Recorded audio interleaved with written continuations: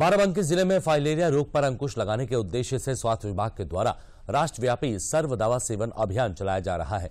27 फरवरी तक चलने वाले इस फाइलेरिया उन्मूलन अभियान को सफल बनाने के लिए बाराबंकी ज़िले में तीन टीमों का गठन किया गया है, जिसमें शहरी और ग्रामीण क्षेत्रों में स्वास्थ्य विभाग की आशा एएनएम के साथ साथ आंगनबाड़ी कार्यकर्ताओं की टीमें घर घर जाकर दो साल से अधिक उम्र के लोगों को ट्रिपल ड्रग डोज दे रही हैं, जिनमें आल्बेंटाजोल डीएसी और साथ ही आइवरमैक्टिन दवाएँ खिलाई जा रही हैं।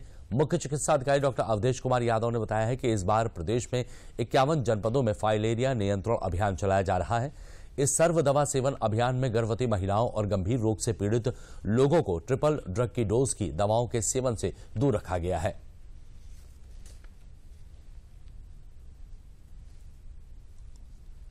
समय फलेरिया का प्रोग्राम चल रहा है।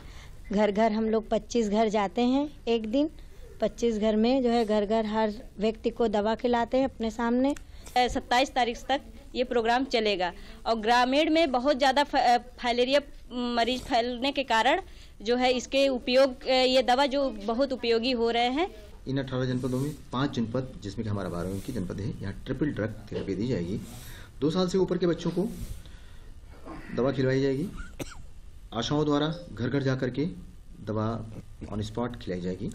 तीन हज़ार, इसके लिए हमारे यहाँ तीन हज़ार चौंसठ टीमों का गठन किया गया है। आशा आंगनबाड़ी और लिंक वर्कर हैं सब।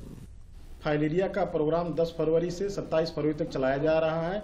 इसमें हमारी एक सौ पचासी टीमें लगाई गई हैं, उसमें 27 सुपरवाइजर हैं। इसमें जो होता है, तीन दवाइयाँ एलमंडाजाल आइबरमेक्टिन और डीसी दिया जाता है। ये एज के हिसाब से उनको दिया